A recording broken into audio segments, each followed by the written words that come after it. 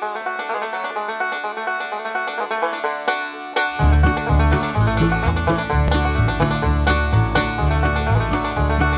Утилитарное купе всегда вызывало неоднозначные эмоции у всех, кто видел его впервые. Имея переднюю часть от спортивного купе, а задний кузов как у пикапа, Ют, можно сказать, был кентавром в мире автомобилей. Модель El Camino от компании Chevrolet была из этой серии. Имея довольно мощный мотор, El Camino наравне с Chevrolet Chevelle называют muscle car. Однако задняя часть автомобиля говорит нам о том, что это все же muscle truck.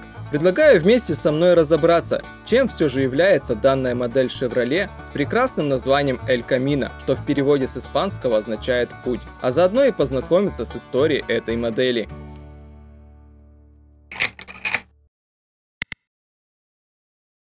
Для того, чтобы лучше понять этот автомобиль, давайте определимся, что такое muscle car и muscle truck.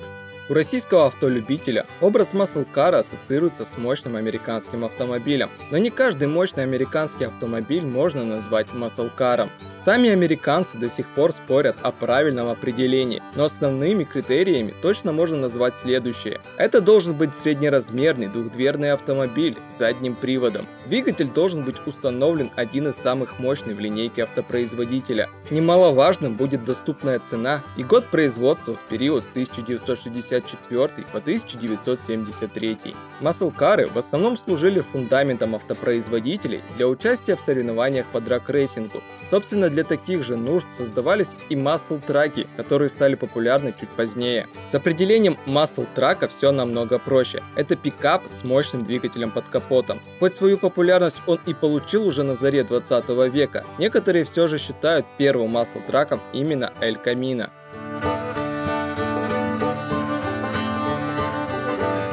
Довольно распространенная легенда гласит, что первый ют попросили создать австралийские фермеры, которым нужно было ездить как в церковь по воскресеньям, так и по своим фермерским делам в будни. Чем им не угодил пикап, непонятно. Возможно, отсутствием должного комфорта. Все-таки тогда это был абсолютно утилитарный автомобиль. Но скорее, причина была в другом. На пикап кредит фермерам давали, а вот на комфортабельное купе, может быть, уже нет.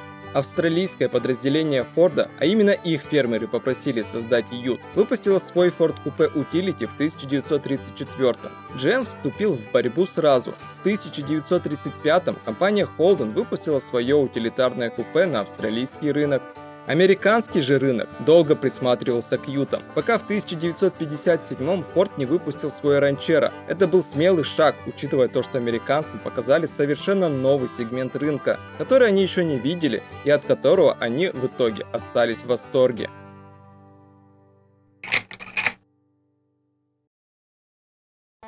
GM в течение двух лет следил за продажами ранчера и размышлял о выпуске конкурента. Конечно, идея создать свой ют у них появилась еще в 1952, но до полноценной разработки так дело и не дошло. В то время General Motors зарекомендовал себя как автогигант, который просчитывает каждый свой ход и никогда не рискует впустую. Поэтому намного чаще шаг в неизвестность сделал Ford, иногда совершая маленькую революцию на американском рынке. Вспомнить хотя бы как стал популярен в свое время Mustang в новом классе Pony Car.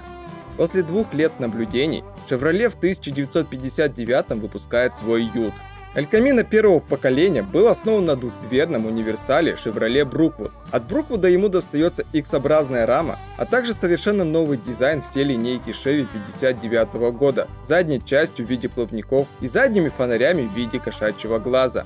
Стилистическую внешнюю ливрею Эль Камино позаимствовал у Bel Air, а внутреннюю отделку Chevrolet Biscayne.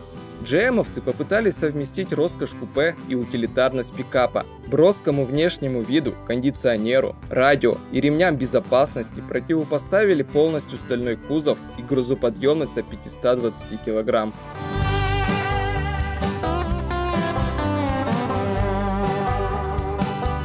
Американский рынок на рубеже 60-х был настолько быстро растущим и изменяющимся, что сами производители порой не успевали за тенденциями. Если сейчас одно поколение может выпускаться от 7 до 10 лет, то в то время этот срок был от 3 до 5. И это при том, что почти каждый год автопроизводитель вносил изменения как во внешний вид, так и в техническую часть автомобиля. Некоторые были настолько радикальными, что вполне можно было назвать их новым поколением. Вот и El Camino уже в 60-м получил переработанный внешний вид. Передняя часть стала строже, убрали брови, добавили противотуманные фары, а вместо задних кошачьих фар появились два фонаря в виде бинокля. Плавники немного подрезали.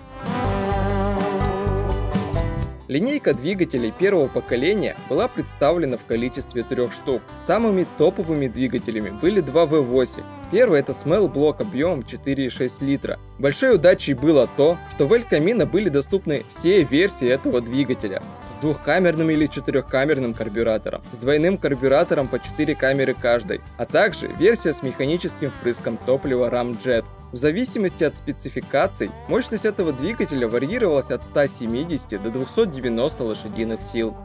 Вторым V8 был Block на 5,7 литра. Как можно заметить, производители уже поняли, что за счет бесконечного увеличения объема двигателя максимальную мощность сильно не поднимешь, и поэтому начали играть с топливной смесью и степенью сжатия. Так и у Block была версия с тремя четырехкамерными карбюраторами. Мощность двигателя в этой версии достигала 335 лошадиных сил. Самым слабым звеном стал шестицилиндровый рядный двигатель объемом 3,9 литра. Несмотря на столь большой объем по нынешним меркам, мощность двигателя составляла всего 135 лошадиных сил. Но его заслуга была в другом. Это был один из самых неприхотливых и надежных двигателей за всю историю марки. Эта рабочая лошадка была настолько популярна, что на одну продажу V8 приходились 2, 3, а то и 4 рядника. А тот факт, что этот двигатель выпускался практически 72 года в разных модификациях, говорит сам за себя. Несмотря на то, что это было утилитарное купе, APA все равно квалифицировала его как пикап-трак, что не помешало El Camino разгромить Ford Ranchero в первый год продаж. График наглядно показывает, насколько был велик разрыв, но все резко поменялось на второй год производства, когда Ranchero перешел на более дешевую платформу Falcon. Разрыв остался почти таким же, но уже не в пользу El Camino. В начале 60-х продажи Ford Ranchero показывали стабильные 20 тысяч экземпляров в год. Видя это, дилеры Chevy захлебывались слюной. Они не могли поверить, что GM просто так взял и сдался после одного неудачного года продаж. Они надеялись, что это просто такой стратегический ход, и у General Motors обязательно есть какой-то план. И такой план был. Хорошим его, конечно, не назвать. У них была идея. Идея создать El Camino на базе дешевого автомобиля. Когда пришлось отказаться от продажи Юта первого поколения и приступить к разработке нового, команда инженеров была застигнута врасплох. Идея сделать Ют так же, как и Ford, на базе дешевой модели, конечно, пришла сразу. Тем более, что конкурентов Falcon выпустили еще в 1960-м. На базе Carveyer уже в 1961 был выпущен Carveyer M-Side, пикап с заднемоторным расположением двигателя. Именно из него и хотели сделать новый Ют от Chevrolet. Но Ford и ему нашел конкурента – Ford Econoline в кузове пикап. Видео про него, кстати, вот тут. От идеи на базе пикапа пришлось отказаться. Затем команда инженеров попыталась сделать El Camino на базе Chevy Nova, новой модели, анонсированной в 61-м. Но из-за неподходящей конструкции и от этой идеи отказались. Тогда Chevrolet решили создать совершенно новый среднеразмерный автомобиль и заложить в него основу для El Camino. Из кладовки достали старую забытую платформу A-Body, и на свет в 1963 появилось двухдверное купе Chevrolet Chevelle. Кроме кузова купе, он получил кузов седана, кабриолета и универсала. Именно кузов универсала стал основой для нового El Camino, увидевшего свет в 1964 году. Автомобиль получил не только платформу и внешний вид Шевеля, но и всю его цветовую гамму. Отделка салона первого поколения была в одном единственном, но очень броском варианте. Второе же поколение предложило сразу несколько стилистических исполнений. Версия Custom предполагала ковровое покрытие, комбинацию ткани и винила, а также двухцветное рулевое колесо и ковшеобразные сиденья. Грузоподъемность по сравнению с первым поколением выросла до 544 кг. Как и модель Chevelle, в 65-м El Camino получает новую переднюю часть V-образной формы. На решетке радиатора появляется эмблема Chevy. Задние фары и стоп-сигналы отделяют друг от друга. Становится доступна пара новых опций, в том числе AM-FM радио, круиз-контроль и колпаки на колесах. Совершенно свежий внешний вид в 66-м придал El Camino новый облик. Новая решетка радиатора и обновленные передние крылья добавили агрессивности передней части. Задние фонари вновь посоединились. El Camino 66 также обзавелся новой приборной панелью и ремнями безопасности в базе. Как мы с вами уже знаем, ежегодный рестайлинг был свойственен для американцев 60-х, и 1967 не стал исключением. Эль Камино также получил новую решетку, передний бампер, а также более широкие стоп-сигналы. Из интересных опций добавились травмобезопасная складывающаяся рулевая колонка, подушек безопасности тогда еще не было, полностью виниловая крыша и четырехзонный климат. Несложно заметить, что внешний вид и внутреннее убранство за 4 года второго поколения менялись довольно радикально, но как дела обстояли с производительной частью автомобиля? Изначально были доступны два шестицилиндровых двигателя, потомки той самой рабочей лошадки, которая устанавливалась в первом поколении. Имея объем 3,2 и 3,8 литра, они развивали по 122 и 155 лошадиных сил соответственно. Но в отличие от первого поколения, где эта рабочая лошадка была популярна, во втором они не сыскали славы. Покупатели выбирали более мощные и более престижные V8, которые были добавлены чуть позже. Первым в линейке появился знакомый нам V8 на 4,6 литра, также в версиях с 2 и 4 камерным карбюратором на 197 и 220 лошадиных сил. Еще позднее был добавлен V8 объемом 5,4 литра с двумя версиями на 257 и 300 лошадиных сил. Мощность зависела от наличия четырехкамерного карбюратора и доработанной выхлопной системы.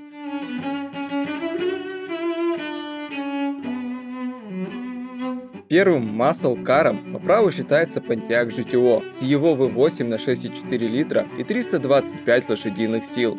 Самый мощный двигатель El Camino и Chevelle на 5,4 литра немного не дотягивал до показателей GTO. Именно поэтому эти модели и нельзя было назвать первыми классическими маслкарами. А вот назвать El Camino первым масл-траком вполне погоне за Понтиаком Chevrolet в 1965 устанавливает на El Camino модифицированную версию 327 мотора на 350 лошадиных сил вместо 257-сильного варианта. Эта малоблочная версия на 5,4 литра была доработана коваными поршнями и шатунами, а также головкой от корвета. В остальном линейка двигателя остается почти без изменений. Рядник на 3,8 литра лишается злых валов, за счет чего мощность двигателя уменьшается до 140 лошадиных сил, а малоблочный двигатель объемом 4,6 литра лишается версии с четырехкамерным карбюратором. Шевель, в свою очередь, в 65-м получает Big блок на 6,5 литра и мощностью 375 лошадиных сил. На тот момент такой двигатель ставился только на корветы Шевель, поэтому покупатели были очень взбудоражены, когда узнали, что в 66-м модельном году El Камина будет прилагаться с тремя версиями такого двигателя на 325, 360 и 375 лошадиных сил. В этом году 327 мотор остался с версией на 275 лошадок, а к двигателю V8 на 4,6 литра вернулась его 220-сильная версия. Начиная с 66-го, El Camino становится популярным у любителей тюнинга и драг-рейсинга. Мощные моторы не перестают привлекать новых покупателей, увеличивая количество продаваемых V8 с каждым годом. 67-м список силовых установок сильно меняется. Во-первых, уходит шестицилиндровый двигатель объемом 3,2 литра. Вместо него добавляет такой же на 4,1 литра и 155 лошадиных сил. Версия двигателя с четырехкамерным карбюратором V8 на 4,6 литра уходит окончательно, а 327-й Smell Block получает версию на 325 лошадиных сил с измененной степенью сжатия. Самый топовый двигатель в линейке получает две версии на 320 и 350 лошадиных сил. Благодаря своим мощным моторам, El Camino второго поколения полностью разгромил Ford Ranchero по количеству продаж. В среднем Chevrolet продавала по 34 тысячи экземпляров в год против фордовских 20 тысяч за тот же период. Ранчера только к 1967 получил статус Muscle Car благодаря своему V8 на 4,6 литра и 315 лошадиным силам. Тем самым General Motors взял реванш за 1960 -й.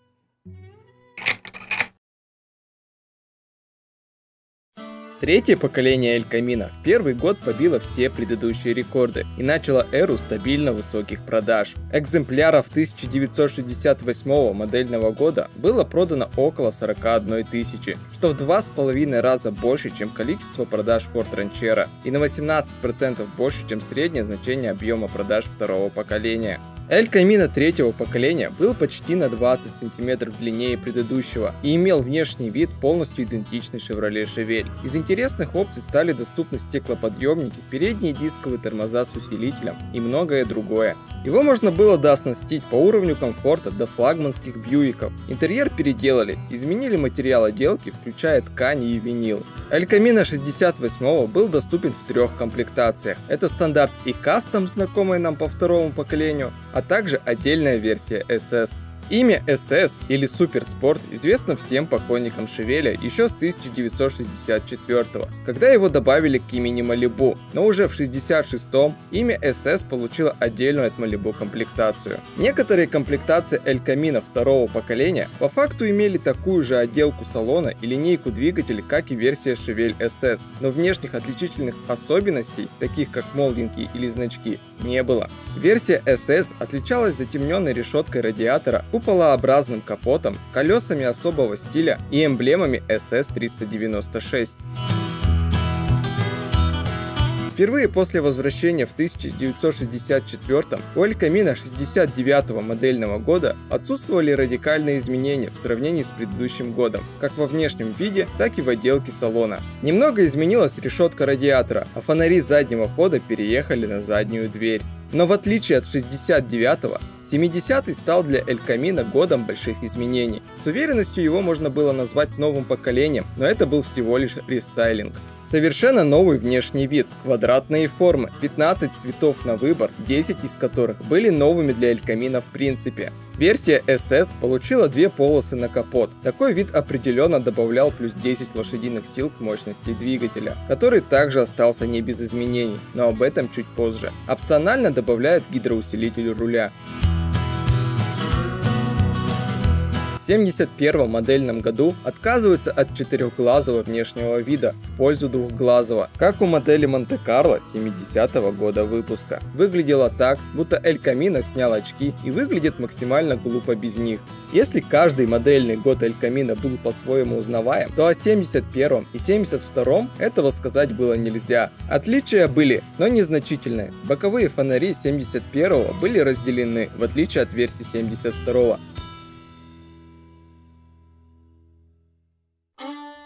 1968-му эра классических маслкаров была в самом разгаре. Такие гоночные соревнования, как NASCAR и Drag Racing, становились все популярнее, заставляя автопроизводителей играть мускулами друг перед другом.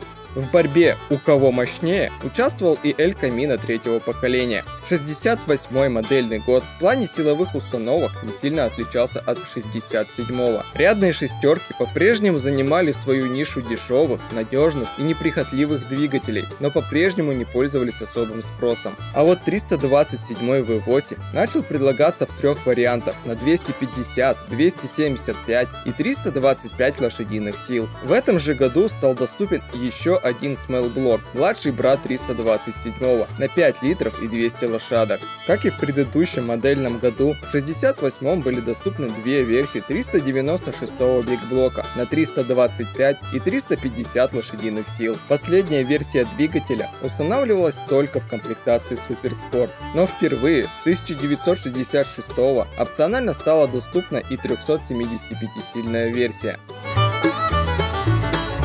69-м Эль Камино впервые получает две версии 350-го смелблока вместо двух версий 327-го. В остальном все остается так же. Такое ощущение, что инженеры Chevrolet в 68 году просто решили отдохнуть, оставив 69-й модельный год почти без изменений. Но новое десятилетие показало, что отдых пошел им только на пользу. Во-первых, внешний вид автомобиля получил рестайлинг, сравнимый с новым поколением. А во-вторых, Эль Камино получил самые большие изменения под капотом за последнее десятилетие. стали доступны два новых бигблока объемом 6,6 и 7,4 литра. 402 мотор был довольно распространенным двигателем с мощностью 330 лошадиных сил. Он устанавливался на такие модели как Camaro, Chevy Nova, Impala SS и другие. А вот 454 мотор Chevrolet имел две версии на 356 и 450 лошадиных сил и стал самой мощной версией El Camino в истории. Как и Chevelle, он получил функцию Call Induction, специально открывающееся окошко на капоте автомобиля для увеличения поступающего воздуха в двигатель. 454 устанавливался на ограниченное число моделей Chevrolet, в том числе на Corvette и Monte-Carlo. Количество проданных El Camino с таким двигателем было менее тысячи, вследствие чего коллекционная ценность в наше время очень высокая. Слишком радикальные изменения 70-го модельного года произошли и у младших двигателей. Отказались от рядника на 3,8 литра, а версия 396-го мотора осталась только в версиях на 350 лошадиных сил. Начиная с 70-го, госорганы начали вводить какие-никакие, но ограничения по содержанию СО2 в выхлопных газах. Если в 70-х автопроизводители еще как-то обходили эти нововведения с помощью системы Air Reaction, то в 1971 появляется система контроля выхлопных газов, за счет чего уменьшается мощность почти всех двигателей, а 396 убирают вовсе. Эра классических масл-каров в 1972 наблюдала свой закат. Виной тому по большей части высокая смертность в ДТП с участием масл-каров. Отсутствие должной безопасности, несоответствие экологическим нормам, а также повышенная страховка заставила автопроизводителей снижать мощность автомобилей. В числе задушенных автомобилей оказался и El Camino, линейка двигателей которого кардинально меняется в плане мощностных показателей. Шестицилиндровый двигатель потерял 35 лошадиных сил. Самое большое количество лошадок потерял 7,4-литровый двигатель, около 150. В среднем же каждый двигатель лишился по 75 лошадиных сил, а комплектация SS стала доступна для всех двигателей. Вот где маркетологи BMW подглядели идеи для своего M-пакета. Но несмотря на это, в 1972 году количество продаж превысило отметку 50 тысяч и составило 57 147 штук. Такое количество объясняется тем, что регуляторы еще не до конца отрегулировали то, что они там у себя регулируют. Закрученные гайки хоть и заставили автопроизводителей ограничивать мощность двигателя, но ничего не мешало покупателям снова их форсировать.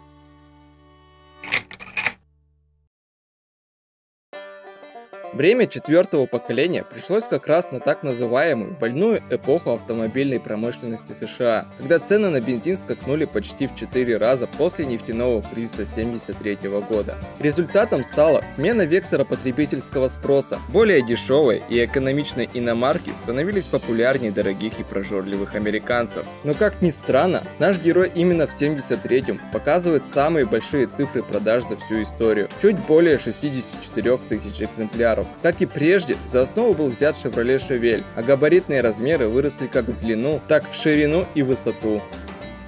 Нормы безопасности становились все суровее, заставляя автопроизводителей заботиться о нас с вами, а не только ставить свои бигблоки в железку с колесами. На El Camino появляется энергопоглощающий бампер для безопасности пешеходов, а передние дисковые тормоза теперь являются стандартными. Доработанная подвеска позволила держать дорогу лучше. Всего два варианта отделки позволяли выбрать между стандартным Classic и версией Super Sport. Последняя шла с двумя двигателями, объемом 5,7 литра, мощностью на 145 и 175 лошадиных сил, а также старый добрый Big Block V8 объемом 7,4 литра. Спустя год после введения ограничений, этот двигатель подрастерял еще лошадок. Окончательная мощность составила 245 лошадиных сил. В комплектации Classic был также доступен Block на 5 литров и скромный 115 лошадиных сил. Сейчас Lada Vesta с двигателем 1.8 немногим мощнее.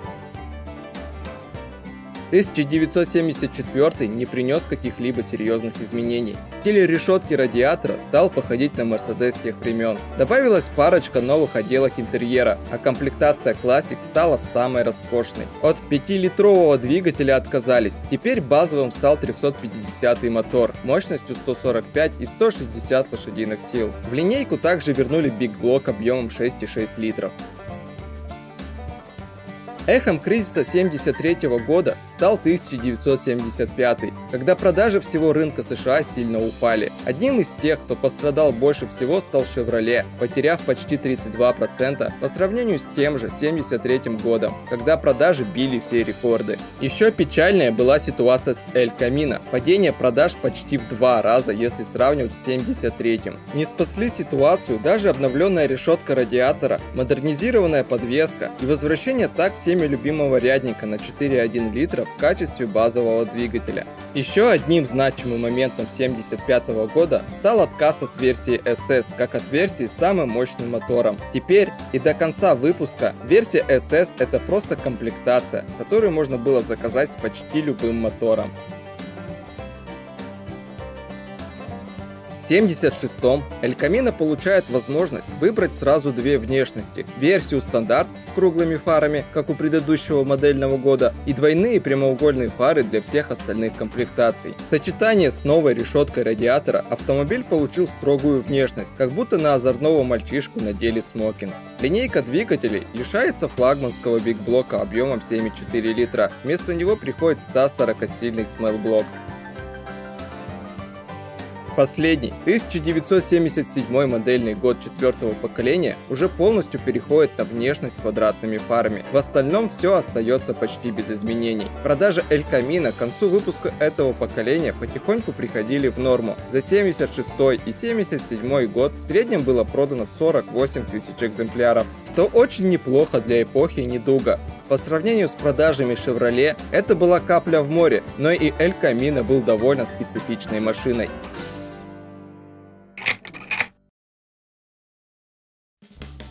Во время любого кризиса кто-то зарабатывает, а кто-то теряет. Так, к концу 70-х доля рынка иностранных автопроизводителей из Японии и Европы выросла в разы, а четвертое поколение El Camino растеряло все свои лошадиные силы в погоне за экологичностью и безопасностью. Увеличенные габариты и слишком много металла подталкивают нас на вполне закономерный вопрос. Можно ли теперь назвать его muscle каром? Может это уже больше truck? Вот и в General Motors были этим озадачены. Нужно было что-то с этим делать. В первую очередь, пятое поколение лишилось почти 250 килограмм, а габаритные размеры стали меньше, чем даже у третьего поколения. К сожалению, растерянные лошадки было уже не вернуть. Мощность двигателя последнего поколения El Camino не превысит отметки и в 200 лошадиных сил. До этого Эль Камино никогда не был самостоятельным автомобилем, он всегда был основан на какой-то модели. Chevrolet Chevelle прекратил свой выпуск в 77-м, и поэтому пятое поколение Эль Камино 78-го модельного года было основано на Chevrolet Malibu и предлагалось в четырех версиях – Black Knight, Conquista, Classic и Super Sport. Линейка двигателей состояла из четырех моторов. Базовым стал новый V6 объемом 3,3 литра с 90-градусным углом между цилиндрами. В семье не без урода, а в США не без Калифорнии, где такой двигатель не проходил по нормам выбросов. Поэтому El Camino именно в этом штате стали устанавливать 115-сильный V6 от Бьюика объемом 3,8 литра. Два смел блока V8 на 5 и 5,7 литра были от предыдущего поколения. Совершенно неожиданно начался 79 модельный год, когда версия Black Knight была заменена на Royal Knight. Такие изменения произошли в результате судебного иска на General Motors за использование чужого товарного знака. Доподлинно неизвестно, кто именно подал этот иск, но есть две версии. Это могла сделать либо компания по производству игровых автоматов, либо сам Стэн Ли во главе компании Marvel. У последнего был такой персонаж комиксов, как Черный рыцарь. Выпуск данной версии El Camino был приостановлен еще летом 78-го, и по некоторым данным за полгода было выпущено от 1200 до 2000 экземпляров. Можно представить, какую огромную коллекционную ценность эта версия представляет сейчас. Но кроме этой истории, 79-й модельный год ничем более не запомнился. Разве что немного изменилась решетка радиатора и появился новый двигатель V8 на 4,4 литра. 80-е начинаются с увеличением объема двигателя V6 с 3,3 до 3,8 литра, а от 350 мотора отказываются вовсе. Интересные изменения происходят в 81-м, когда El Camino получает электронную систему контроля выхлопных газов. Линейка двигателя остается такой же, но из-за новой системы лошадиные силы вновь теряют своих бойцов. Экологические нормы и топливная эффективность делают свое дело. В начале 80-х продажи Camino падали с 54 тысяч в 78 до 36 тысяч в 81. Автопроизводителем в 82 принимается решение прекратить выпуск Camino на платформе A-Body, которая служит ему еще с 1964 почти 18 лет. Новой платформой становится J-Body, на которую также переезжают такие модели как Monte-Carlo и Malibu, а также некоторые модели Oldsmobile и Pontiac. Внешний вид получает свой последний рестайлинг в этом поколении, да и в истории марки в принципе. В 87-м модель El Camino снимают с производства. На новую платформу J-Body впервые ставят дизельный двигатель V8 объемом 5,7 литра, мощностью всего 105 лошадиных сил. Дорогое обслуживание и плохая надежность погубили репутацию этого двигателя, который уже в 84-м прекращает свой выпуск. В 83-м V8 на 4,4 литра убирают из линейки, оставив 5-литровый смел-блок отдуваться за двоих. В 85-м оставляют всего два двигателя в линейке, V6 объемом 4,3 литра и 5-литровый V8. Таким тандемом они и продержались до конца выпуска El Camino.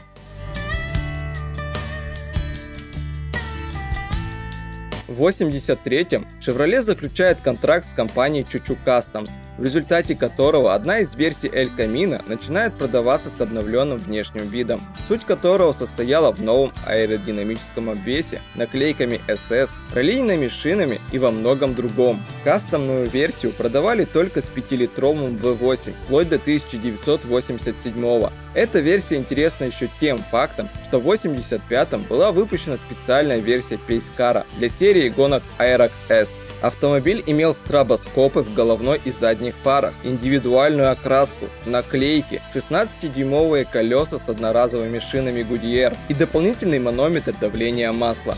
Чучу Customs выпустила около 15 копий Aerox для продажи коллекционерам. На данный момент оригинальная версия Чучу Customs стоит очень хороших денег. Что уж говорить о 15 копиях Пейскара.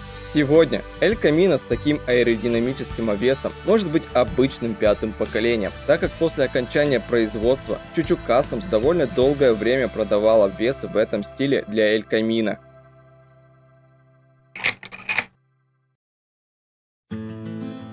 Продажи пятого поколения в период с 1982 по 1987 держались в среднем на уровне 21 тысячи экземпляров. Но как в это время продавался его главный друг, враг и вдохновитель Ford Ranchero? Форд прекратил выпуск своего Юта еще в 1979 по двум причинам. Во-первых, по продажам Ranchero сильно уступал тому же El Camino, у которого в 1971 появился брат-близнец на базе GMC, также отбирающий долю рынка. А во-вторых, Ford планировал начать выпуск компактного пикапа Ford Ranger в 1983 и ему не нужен был конкурент в лице Ranchero. В 1988 Chevrolet отказалась от платформы J-Body и почти все модели были перенесены перенесены на платформу W-Body с переднеприводной компоновкой. El Camino еще в 83-м был одним из самых последних наследников классических маслкаров. Если бы Chevrolet решились на смелый ход и выпустили El Camino с передним приводом, то, как мне кажется, поклонники бы этого не поняли. По этой причине и по причине и так низких продаж было решено прекратить производство в 87-м.